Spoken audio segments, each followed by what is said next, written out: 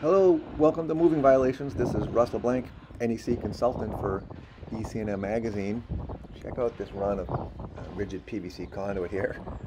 Look at that. Um, we have a couple of violations here. One would be section 352.30.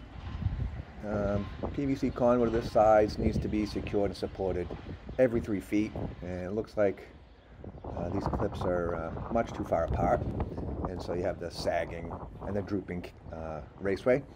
Also, it looks like there's no expansion fitting used. And uh, a run this long is definitely going to expand and contract more than a quarter of an inch.